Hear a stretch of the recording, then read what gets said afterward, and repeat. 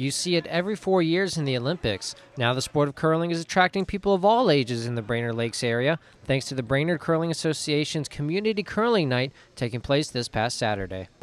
We invited members of the community to come in and experience curling for the first time.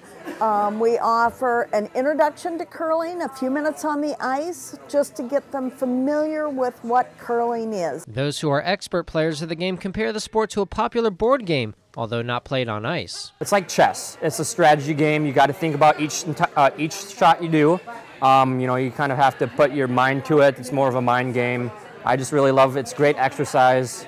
JJ has been curling since his father introduced him to the sport at a very young age.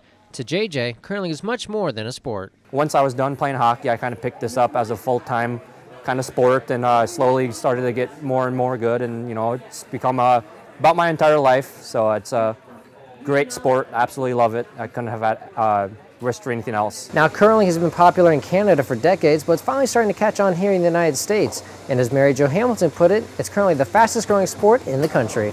Canadians are veteran curlers. They start when they're in kindergarten, if not before. The United States has been very slow, and it's mostly in the northern tier states of the United States. Just in case you are thinking of joining a league or learning how to play, know that the Brainerd Curling Club is only open during the curling season. We operate from the 1st of October every year through March 31st, and then the curling season is over. You can see curling featured again in the Winter Olympics happening early next year. Reporting in Brainerd, Clayton Castle, Lakeland News.